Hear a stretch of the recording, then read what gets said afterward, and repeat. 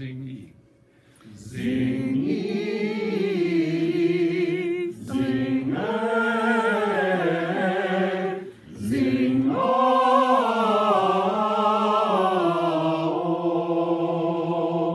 I've, I've, I've already been teaching good breathing by just the way you're standing. And the fact your hands are doing this, because now take your breath with me again, just a breath.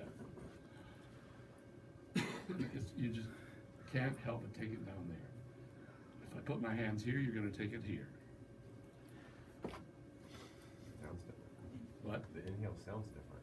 Yeah, the inhale is quite different, isn't it? Mm-hmm. And so that's why, ladies and gentlemen, I believe in using gestures that are here as your major gestures rather than the gestures that are here, because this always encourages clavicular breathing, clavicular breathing, and too breathy a sound.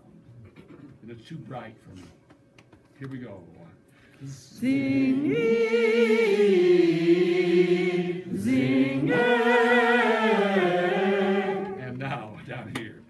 sing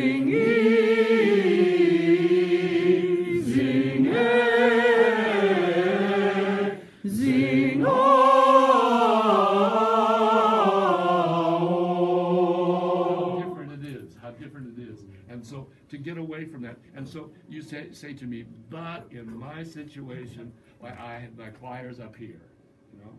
And I say, raise yourself with a box. Get on a box. Get up so that you can do this. I, I learned this a long time before I really knew much about, about uh, body language. I just knew that if I was up here, I got a sound I didn't like, but I got the sound I wanted here.